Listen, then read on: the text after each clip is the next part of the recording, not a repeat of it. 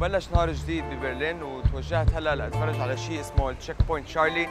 واللي هو كان أهم نقطة مرور ما بين برلين الشرقية وبرلين الغربية خلال الحرب الباردة.